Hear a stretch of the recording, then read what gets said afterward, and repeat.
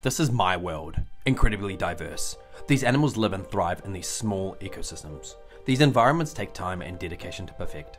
I don't do this because I want to, I do this because I have to.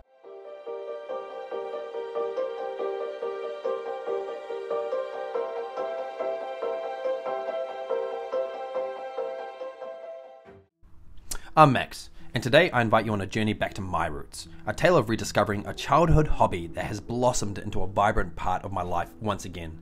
At the ripe age of 35, I've rekindled my love for keeping reptiles, and not just any reptiles, but the rare and incredible geckos of New Zealand. There is not much selection when it comes to exotic pets in New Zealand. We live at the bottom of the world and we're extremely limited with choice. But you can be creative and still keep some incredible species. We have tree frogs, leopard geckos, some Australian skinks and dragons, and if you have a permit, and only with a permit, can you keep New Zealand geckos in captivity. Now, Meet Godzilla, one of the most colourful geckos on the planet. This is the Northland green gecko and only lives at the bottom of the world here in New Zealand.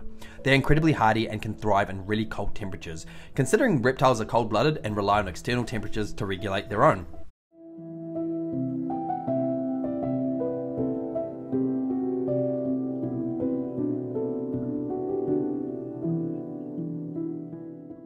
As a child, I was mesmerized by reptiles. My room was filled to the brim with aquariums, terrariums, paludariums. I had turtles, fish, skinks, leopard geckos, newts, frogs, bugs, and the list goes on. Life, however, took its winding paths, and my interests shifted, of course.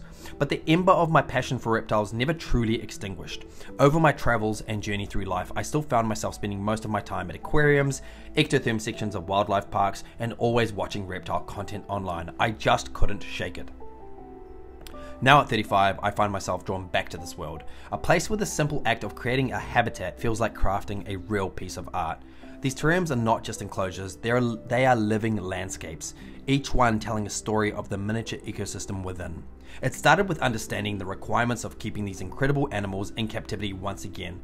I had to upskill, I had to learn from the experts. The other thing you'll realize really, really quickly is it's an expensive hobby.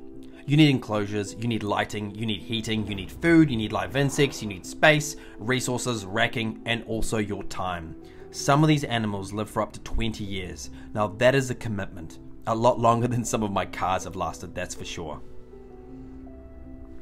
It is currently winter here in New Zealand, so things have slowed down. The skinks are sleeping and the geckos are not as active. Feeding time is always an exciting time, but in winter, only the frogs are eating and the geckos on warmer days.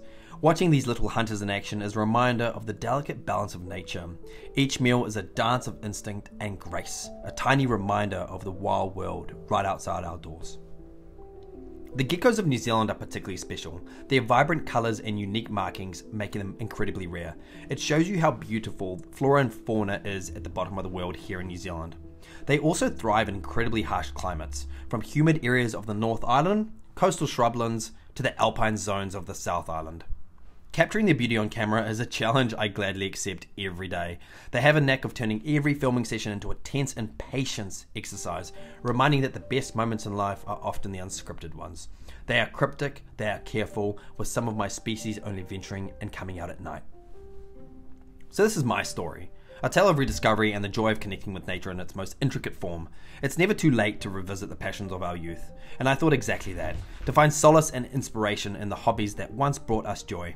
This has brought happiness and fulfillment to my life, and I hope to inspire you to show you how amazing this hobby really is. Thank you for joining me on this journey. If my story resonates with you, that's awesome. I invite you to share your own journey below. I'd love to hear your stories with reptiles, amphibians, or any of your other awesome animals you have. If you vibe with this, that's dope. Maybe subscribe for more narratives from my world of reptiles and amphibians and other dope critters. Till next time.